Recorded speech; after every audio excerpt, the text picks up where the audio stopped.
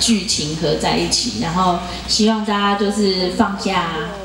有事没事的时候就可以多听一下多唱一唱然后去 ktv 可以点来那个我很希望我很期待它可以变成